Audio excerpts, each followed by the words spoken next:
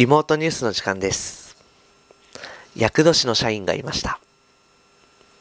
見事、厄年に選ばれた社員は、営業兼印刷部の高嗣さんです。厄年は特に体に気をつけた方がいいと受付の番人が申しておりました。